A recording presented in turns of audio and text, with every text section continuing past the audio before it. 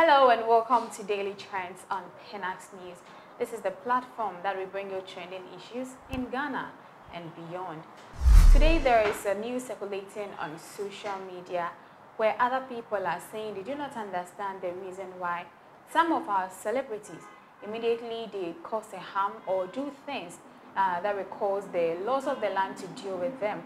We rather stop shading at them and focus on the lay person or others who do not have authority or power in existence. Well, because of their influence and how they stand out in the country, whenever they are at fault, we sometimes neglect their actions. But whenever somebody who is not that into power or the person is not influential finds himself or herself under such same uh, crime, that is whereby we raise the alarm in order to cause a havoc in the system. Well, a Nollywood actress has come to say that she doesn't buy the idea. This actress, Uche Nnanna, has come out to state that we recall that what happened between Timaya and the said victim who is uh, Osi, Osinubi Damilola, the victim whom um, Timaya did the hit and run with.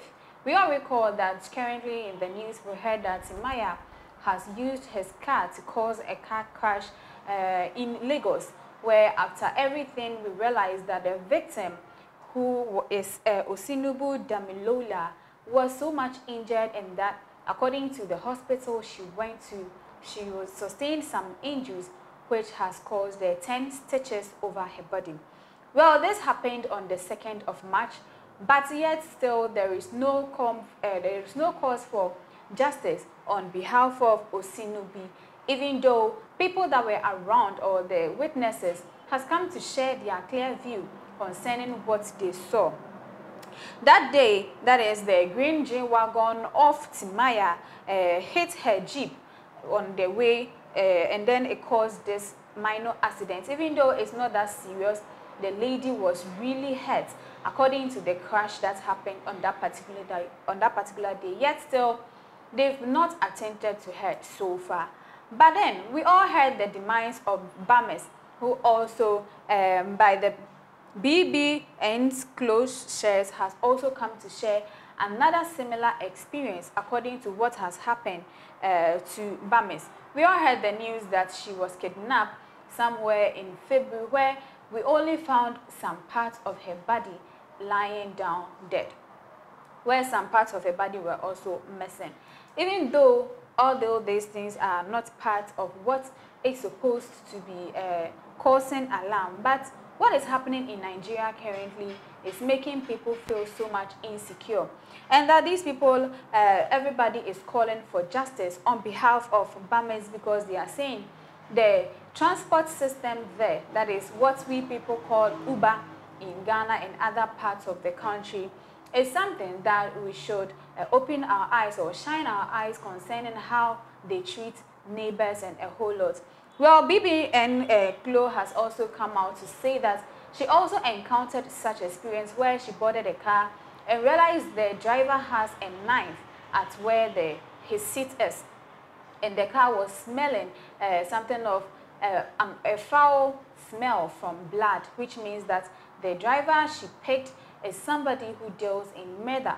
The person kills people and then uses them for his own personal gains. And that she also raised the alarm and said on the 1st of March when she boarded the BRT um, car, that is the Uber, she realized that the car is a car that uh, normally does that and is very awkward and bad. So the alarm raised here shouldn't only be centered on the kidnapping part, but also celebrities who fail to perform their duties or fail to take action whenever they are at fault should also be addressed. And according to the actress Uche, the reason she is mad at all this is because Timaya is said to be a celebrity and so therefore celebrities are people that we do cover up most of the times, but it shouldn't be done that way. So the more we are seeking for justice for Bamis, we should also seek for justice on behalf of the victim that fell under uh, the harm of Timaya by Timaya hitting her and then running away without even showing any proper consent. Moving on to other stories.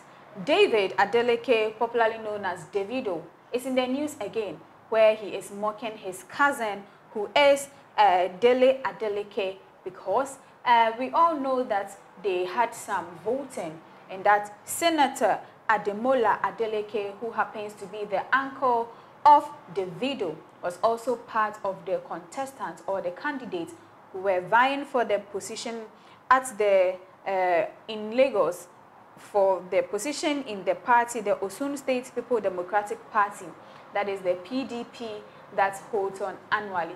According to Davido, nobody can be in the competition with his uncle and win.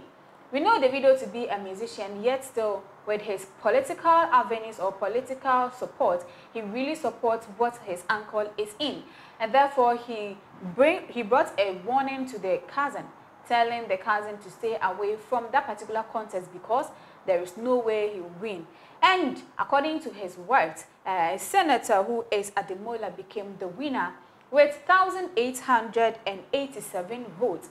He emerged as the topmost and that no other person who was part of the competition could come close to uh, the votes that he had and therefore that crowned him as the senator or currently the person who can aspire for the position of presidency in Nigeria, Lagos to be precise.